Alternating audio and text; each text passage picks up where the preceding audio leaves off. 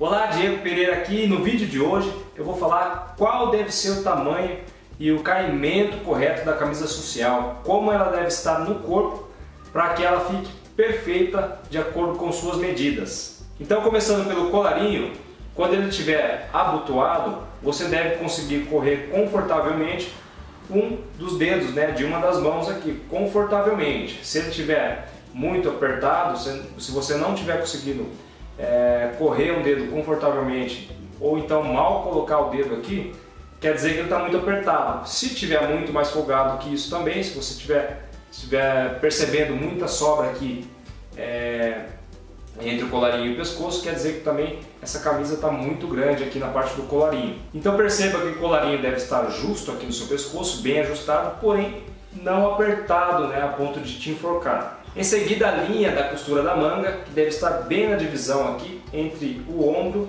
e o braço. Então, bem na parte onde termina o ombro e começa o braço aqui. Se ela estiver muito mais para baixo, quer dizer que tá muito, essa camisa está muito grande para você. E se tiver muito para cima aqui, ó, ela vai ficar desconfortável e quer dizer que essa camisa está muito pequena para você. Então essa linha do ombro onde a manga é costurada é uma das coisas mais importantes que você tem que prestar atenção quando você for comprar uma camisa.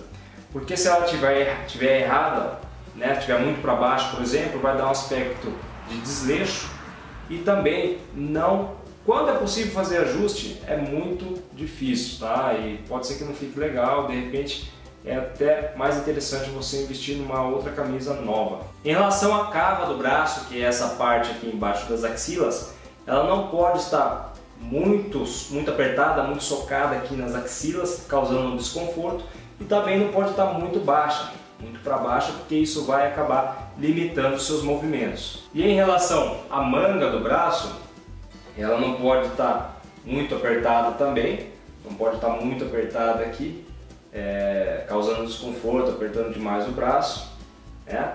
Também não pode estar muito larga, dando aspecto de desleixo.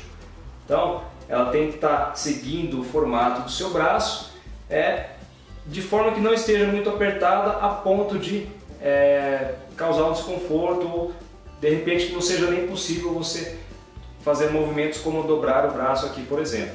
Em relação ao punho da manga, ele não deve ficar largo demais a ponto de encobrir sua mão dessa forma.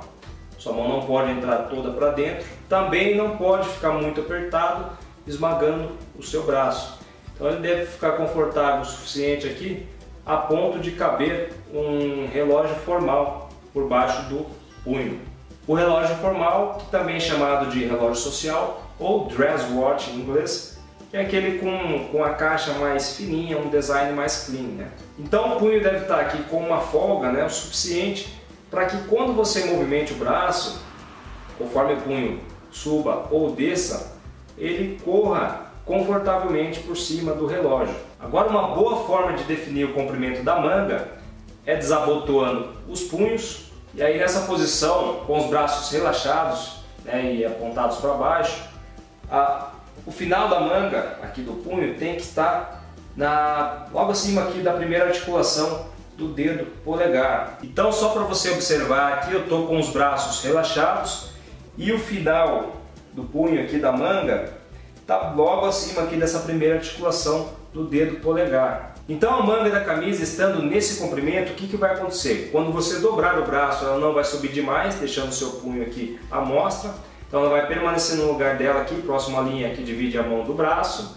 E também quando você estiver usando um paletó ou um blazer, sempre vai ficar um pouquinho da, da manga da camisa aqui aparente por baixo do paletó. Cerca de meio centímetro a dois centímetros e meio é, é o ideal, né? depende do gosto de cada pessoa. Agora aqui na parte da cintura, a camisa deve estar seguindo a silhueta do corpo, tanto aqui na cintura como na parte do peito e ela não deve estar apertada demais para que os botões não fiquem repuxando dessa forma aqui, ó. Então ela não deve estar muito apertada assim para não acontecer isso aqui e também não deve estar sobrando muito tecido aqui nas laterais para que quando você, principalmente quando você coloca a camisa por dentro, ela não fique bufante, né? Sobrando muito tecido, dando um aspecto de desleixo. E por fim, em relação ao comprimento da camisa aqui embaixo, se você for usar apenas de maneira mais formal por dentro da calça, ela pode estar mais longa, inclusive até cobrindo o traseiro aqui, para que não saia com facilidade